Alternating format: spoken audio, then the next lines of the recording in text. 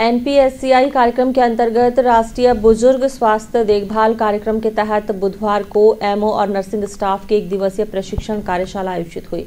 Nursing centre में आयोजित हुई इस प्रशिक्षण कार्यशाला में deputy CMHO doctor P C Deepan, अस्पताल अधीक्षक डॉक्टर बी एल मंसूरिया समेत दर्जनों चिकित्सक और नर्सिंग कर्मी मौजूद रहे। एनपीएचसीआई कार्यक्रम के अंतर्गत और राष्ट्रीय बुज़ुर्ग स्वास्थ्य देखभाल कार्यक्रम के तहत बुधवार को एमओ और नर्सिंग स्टाफ की एक दिवसीय प्रशिक्षण कार्यशाला आयोजित हुई। जीएनएम ट्रेनिंग सेंटर में आयोजित हुई इस प्रशिक्षण कार्यशाला में deputy CMH doctor P C Deepan, जिला अस्पताल अधीक्षक डॉक्टर बी एल मंसूरिया समेत मंचासीन चिकित्सकों ने उपस्थित एमओ और नर्सिंग कर्मियों को प्रशिक्षण दिया और वर्तमान स्थितियों में वरिष्ठ नागरिकों की स्थिति और उनकी देखभाल के लिए स्वास्थ्य कार्मिकों को किस तरह कार्य करना चाहिए, इसकी जानकारी दी।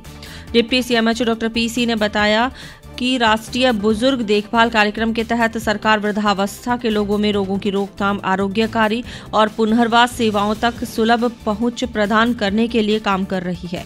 इस कार्यक्रम के तहत एनपीएचसीई, समुदाय आधारित प्राथमिक स्वास्थ्य देखभाल प्रणाली के माध्यम से बुज़ुर्गों में स्वास्थ्य समस्याओं की पहचान करना, एक मज़बूत रेफरल बैकअप सहयोग के साथ समुदाय में उपस्थित स्वास्थ्य योजनाएँ मुहैया करवाना है। इसके साथ बुज़ुर्ग रोगियों को चिन्हित कर और आवश्यक इलाज देकर बुज़ुर्गों में मृत्यु दर घटाना है।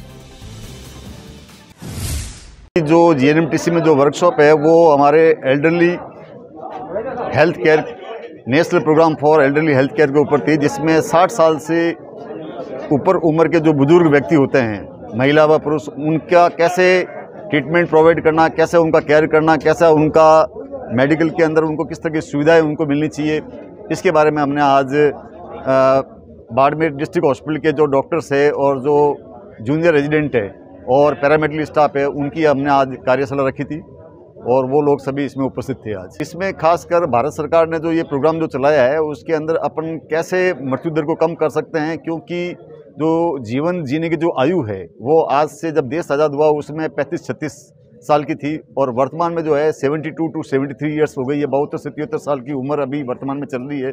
इसको और अपन कैसे आगे बढ़ा सकते हैं? कैसे बुज़ुर्ग व्यक्तियों को कैसे स्वास्थ्य के प्रति सावचित कर सके? कैसे उनको, अपन उनको बेटर सुविधा दे सके?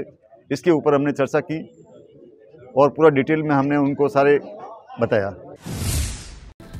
प्रशिक्षण कार्यशाला के दौरान अस्पताल अधीक्षक डॉक्टर बी एल मंसूरिया, उप नियंत्रक डॉक्टर प्रदीक सागर डॉक्टर हरदान चारण ने भी उपस्थित चिकित्सकों, जूनियर रेजिडेंट और नर्सिंग स्टाफ को कार्यक्रम की जानकारी दी और वृद्धजनों के स्वास्थ्य के प्रति सतर्क रहकर कार्य करने की बात कही। इस दौरान जिला अस्पताल के एमओ जूनियर रेजिडेंट्स समेत भारी संख्या में नर्सिंग कर्मी मौजूद रहे।